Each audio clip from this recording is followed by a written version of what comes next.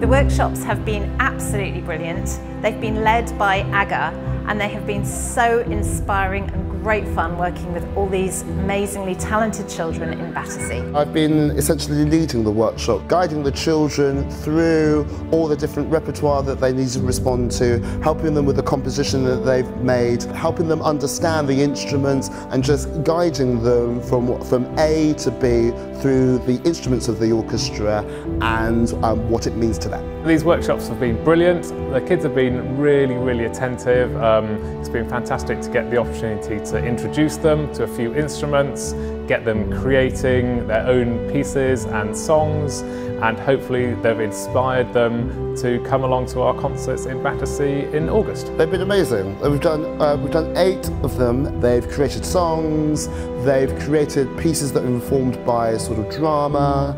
They've really responded to a completely different composer. They've really interacted really well with the RPO players. So it's just been a huge variety. It's just been so much energy.